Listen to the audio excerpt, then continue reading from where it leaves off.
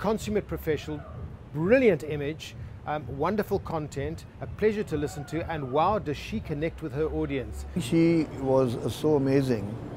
She was engaging, and the most important part was her humor. And some key takeaways that I had from her talk really mesmerized me. I was struck by the combination of polish and professionalism, which you would expect, but also the authenticity and the enormous value um, for the listener. It feels really that every element of her keynote was constructed for us.